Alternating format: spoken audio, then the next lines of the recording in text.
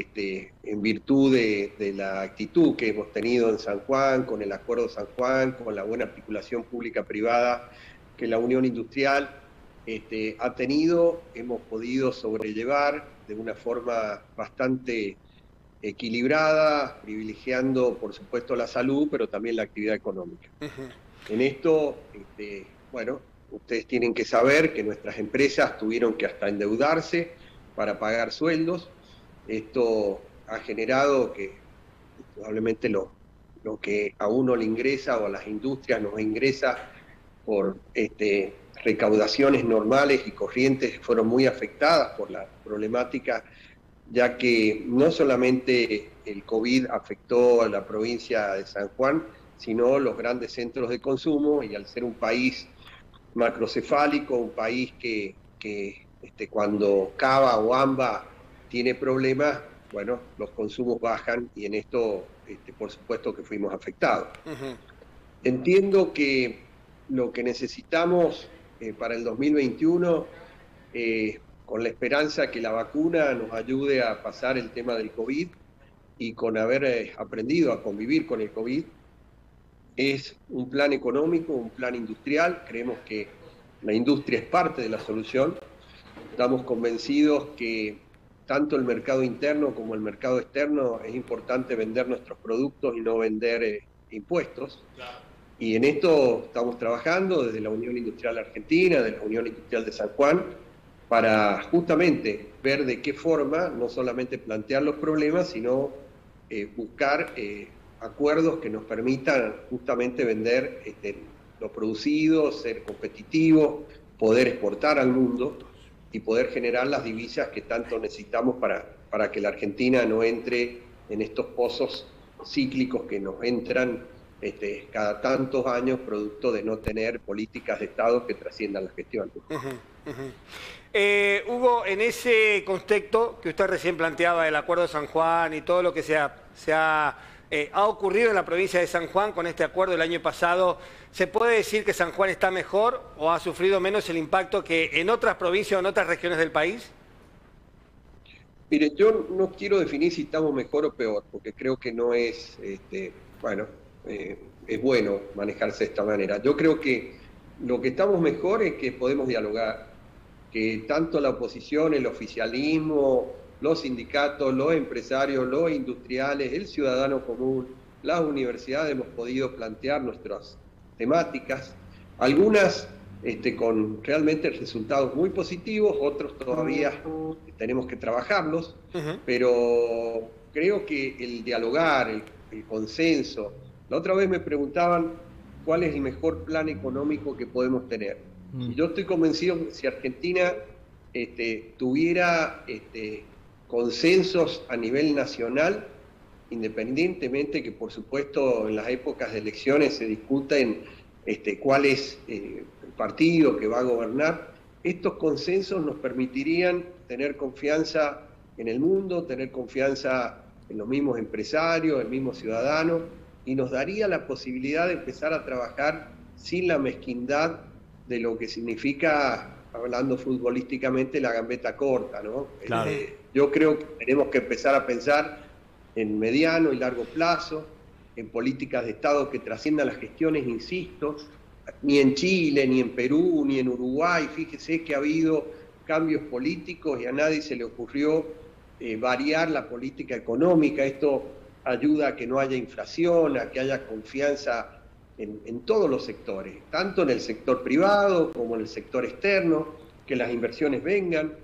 Estamos muy esperanzados en el caso de San Juan, eh, porque la minería sí ha sido una política de Estado que ha trascendido las gestiones en la provincia de San Juan, y estamos tratando, por supuesto, de ayudar que eh, justamente este proyecto, que es José María, este, sea el puntapié inicial de la llegada de nuevas inversiones mineras a nuestra provincia que, como lo hemos transmitido al presidente y al ministro Culfas, en los próximos 40 años pueden generar 120 mil millones de dólares y esto tracciona la construcción, los servicios, la industria y por supuesto también a todos los ciudadanos porque de una u otra manera cuando hay una actividad como es la minería y genera los recursos que genera, este, esto, por supuesto, que repercute en todos los ámbitos. Hugo, eh, quizás durante el fin del 2020 eh, se pudo abrir un poco más el sector a nivel eh, nacional, más allá de que San Juan ya tenía esta, apertura. Esto eh, quizás haya provocado, y también inicio de 2021, una mejora en la actividad económica, si bien es cierto que esto también trajo aparejado ya no el ATP. Esta, dualidad, ¿cómo, ¿cómo lo ven y qué proyecciones tienen para estos meses a corto plazo en 2021? Sí, eh, por supuesto, cuando hay de momentos donde no hay consumo, momentos que hay consumo, hay sectores que traccionan y por supuesto eh, se empiezan a ver.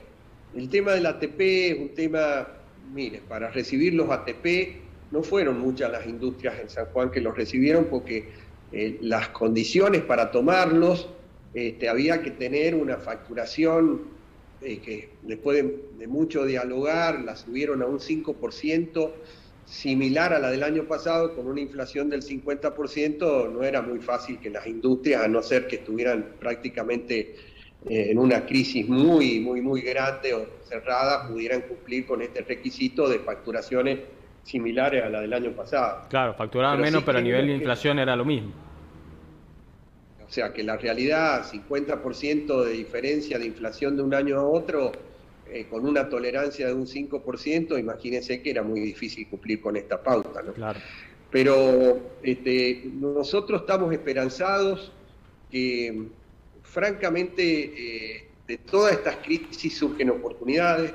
Creo que nos ha dado la posibilidad en nuestras cámaras, eh, en el caso de la Unión Industrial, estamos muy contentos porque se han sumado muchos industriales, muchos empresarios, del sector de, las mujeres, de los jóvenes, porque creemos que cuando pasan estas crisis es cuando, bueno, todos tenemos que trabajar, reinventarnos, en la posibilidad del Zoom, la, posibilidad esta de la virtualidad, nos ha permitido también trabajar mucho en la Unión Industrial Argentina, ya que las reuniones de junta que, yo integro se podían hacer virtualmente y ya, bueno, estos traslados a Buenos Aires, este, que eran a veces complicados, hemos podido bueno, este, generar este, eh, muchos más espacios para poder trabajar. Creo que el mundo ha cambiado, el COVID nos ha hecho cambiar, este, nos ha dado la pauta de que se ha acercado el mundo en función de, poder transmitir o trabajar en, base a esto mismo, al Zoom, al Sky, a tantas plataformas que ha dado la posibilidad de, estar mucho más cerca eh, todos creo que de esto tenemos que aprender, de que increíblemente algo que parecía que nunca se podía dar se da, la problemática de la logística, la problemática de la autonomía que tiene que tener cada provincia para la provisión de sus necesidades y sus productos, el mejorar las infraestructuras para que realmente podamos tener mucha mayor conectividad, el poder entender que las políticas exteriores no tienen que ser este, lo que modifiquen las políticas económicas. Nosotros hace poco hicimos el coloquio regional y trabajamos mucho con Mendoza y San Luis, lo que era una utopía antes por las rivalidades que habían entre provincias, por la promoción industrial. Creemos en los acuerdos país-país. Mm. Chile es una gran puerta al Pacífico y trabajar con los chilenos, con todos los mercados que ellos han generado por los acuerdos de libre comercio. Entonces creo que tenemos que abrir la cabeza, no pensar en chiquito, no pensar en, el corto plazo, en empezar a, buscar la manera de que le dejemos, lo que siempre digo, a nuestros hijos y a nuestros nietos un país más estable, el que podamos dialogar aunque pensemos distinto, y creo que ese es el primer camino que necesitamos para la reactivación. Yo estoy esperanzado, que en estos acuerdos sociales eh, que se han eh, recientemente eh, tratado de hacer, el gobierno, sindicalismo, industria, pero que no sean acuerdos para sentarnos y para una foto, sino que sean acuerdos que se concreten objetivos y que podamos trabajar para producir, para generar los recursos que tanto le hace falta a la Argentina. Y en el caso de la minería, imagínese estas inversiones que vienen en José María de 3.200 millones de dólares, que no es inversiones de estos dólares que venían a ser la bicicleta, sino inversiones de riesgo para generar este, proyectos mineros como es el cobre, que es uno de los metales que en los próximos años este, nadie sabe la demanda que va a haber, porque los autos eléctricos se consumen cinco veces más cobre que los tradicionales, porque las energías alternativas también lo hacen. Entonces tenemos muchas posibilidades. Lo que tenemos que hacer, una vez por todas, empezar a pensar que está primero la Argentina, está primero este, justamente el bien común y no este, quién gobierna o quién dirige por cuatro años los destinos del país. Entonces, creo que eso es lo más importante que, acuerdos como el Acuerdo San Juan se, debería repetir a nivel seguro, país. Seguro. Estamos tan lejos de aquel pacto de la Moncloa que hablaron los españoles en la década del 70, ¿no? Tan lejos de eso, como usted decía. Pero digo, ¿qué grado de importancia tendría un acuerdo con el Fondo Monetario Internacional a nivel empresario? Para ustedes, digo. Mire, yo creo que el cumplir o los acuerdos son muy importantes. Fíjese qué lástima la oportunidad que nos perdimos, el haber renegociado la deuda externa este, y, tener la posibilidad de postergar los pagos de las obligaciones. No importa eh, eh, si lo tomó el gobierno anterior o lo tomó el gobierno anterior al anterior. Claro. Eh, nosotros tenemos que aprender a cumplir nuestros compromisos. Si uno no cumple los compromisos, uno no es serio como país. Exacto. Entonces, los errores de nuestros gobernantes o los errores de las políticas económicas de los gobiernos no se les puede echar la culpa, eh, o si la tendrán, por supuesto, y tendrán que pagar eh, en función si no han hecho las cosas bien. Pero uno en el mundo tiene que ser serio. Y a partir de ahí vamos a poder vender y vamos a poder hacer acuerdos. Fíjese que en este momento en el mundo este, las tasas de interés prácticamente son cero.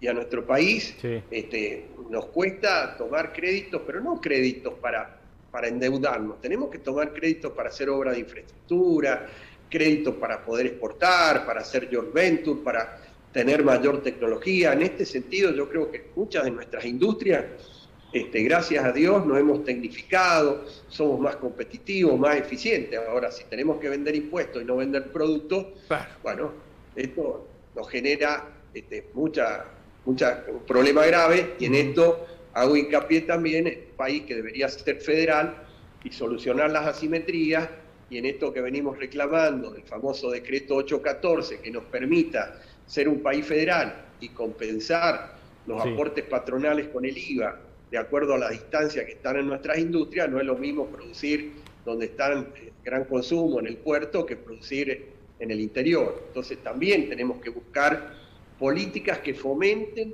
la erradicación de industrias, sobre todo la continuidad de las pymes, el que podamos competir, no subsidiar, pero cuánto cuesta para que de alguna forma este, nuestros hijos, nuestros, bueno, nuestros vecinos no se tengan que ir a, otros países o a otras provincias, porque indudablemente las oportunidades aparentemente en los lugares nuestros son difíciles por la competitividad. Esto yo creo que hay que darle una solución. Hugo, la gran deuda que tienen los gobiernos con ustedes los empresarios eh, es la tremenda carga tributaria que tienen las empresas. ¿De qué manera se puede bajar eso? Porque realmente les hace daño.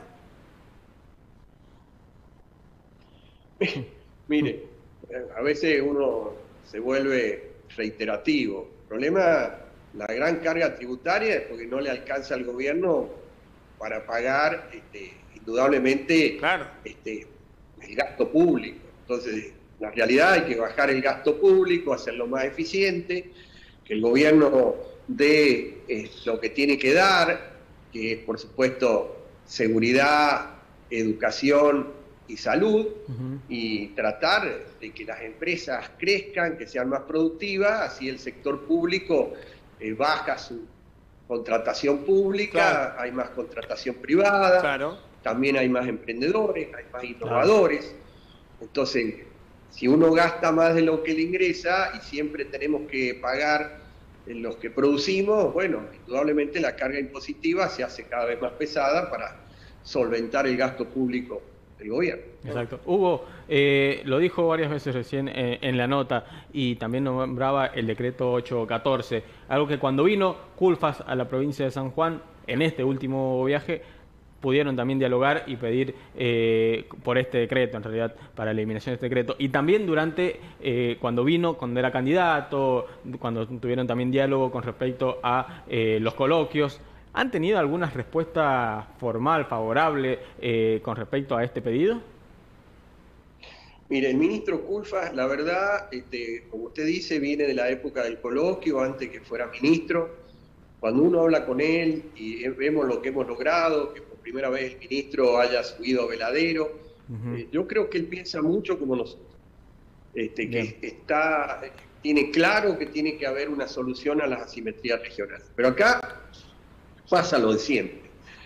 Eh, lamentablemente eh, hay una, mirada del sector productivo, otra mirada del que maneja la caja, y a veces el que maneja la caja, que es el Ministerio de Economía, como tiene los conflictos de hacer frente a las obligaciones, cuando tienen que tomar este tipo de medidas, no evalúan lo importante que significaría la generación de empleo, la conservación de empleo, las pymes, el interior y el fomento de las economías regionales, y, se, y ven lo cortito que sería lo que perderían de recaudar si este, este, esta medida, que debería ser ya no un decreto, sino una ley nacional, que permita eh, compensar los aportes patronales con el IVA, imagínese algo que es muy simple. Un empleado de comercio que hoy está ganando casi 50 mil pesos, al empresario le cuesta 75 mil pesos. Imagínese y multiplique los costos operativos y que uno no quiere que el trabajador gane menos. Al contrario, cuando el trabajador gana bien, el mercado interno, el consumo mejora. Pero lo que hay que bajar es el costo no remunerativo que tienen los salarios para que los empresarios podamos ser más competitivos. Y en el caso de promover la distancia de nuestras industrias de los grandes centros de consumo, estamos hablando de impuestos compensar el aporte patronal con el IVA es una forma de ayudar a la competitividad de nuestra industria. Claro, sí, Entonces, aparte, hasta la palabra promoción industrial no hay que tenerle miedo. En Brasil, en los grandes países del mundo, en Estados Unidos, existe la promoción para que se radiquen industrias en lugares donde indudablemente, si uno quiere un federalismo, quiere tener una población estable en todo un país como el nuestro, y tenemos que empezar, fíjese los problemas que tiene de concentración Buenos Aires, producto de, ser un país macrocefálico y que durante muchos años este, mucha gente del interior tuvo que salir a Buenos Aires o a, los lugares de grandes consumo y generaron los problemas de infraestructura que genera y todo lo que ya conocemos. Claro, Entonces creemos que hay que tener una visión más panorámica, no tan de caja, este, para, eh, yo creo que en estos momentos de crisis uno tiene que ajustar, pero con crecimiento. Si vos ajustás con achicamiento, pasa lo que está pasando, de que de alguna manera tenemos que tener algo que nos permita ser previsibles. Y yo creo que esto es lo que todos buscamos, que el país no se detenga para las elecciones, que no sea un país que todo el tiempo estemos pensando políticamente, sino que lo que hace un gobierno le sirva al otro, que haya políticas de Estado nuevamente que trasciendan las gestiones y aunque parezca reiterativo, esto nos va a permitir abrir mercados en el mundo, poder exportar y no después que nos cambie la regla de juego y ya no podamos exportar porque no nos den los números. Claro. Entonces, bueno. Y, esto, y esto hubo, eh, obviamente, del sector industrial, quieren que suceda ya, lo más rápido posible, pero eh, en la realidad, ¿creen que se va a dar ahora, eh, quizás en 2021, 2022, un proyecto pensando en el largo plazo? Usted quiere que yo sea Orangel, no sé cuál es la, realidad, bueno, por ahí. Yo tengo la esperanza, yo creo que a nadie, no podemos seguir más este, con parches. Creo que este, el sentido común, la universidad de la calle que uno tiene, que, hemos tenido los empresarios, imagínense que yo ya tengo 64 años, ya no me acuerdo las crisis que hemos tenido, esto nos ha permitido que, bueno, eh, seamos optimistas, eh, porque creemos que todo pasa, que todo eh, indudablemente, pero estamos cansados de volver a foca ah. cero ah. con todas las oportunidades que hemos tenido. Entonces creo que una vez por todas tenemos que pensar en el país y no en las elecciones. ¿Cómo me gustaría que de alguna manera hubiera un gesto generoso de todos los sectores políticos, del oficialismo, de la oposición? Fíjese en Alemania, en todos los elogios que tiene la canciller Merkel porque ha logrado en, un país, cuando gana su partido político, ella nombra este, dentro del gabinete gente de, otros sectores políticos que no han ganado, de la oposición, y los logros son de todos, y los gobiernos de coalición permiten esto, que cuando hay crisis este, todo el mundo esté en el mismo barco. Claro.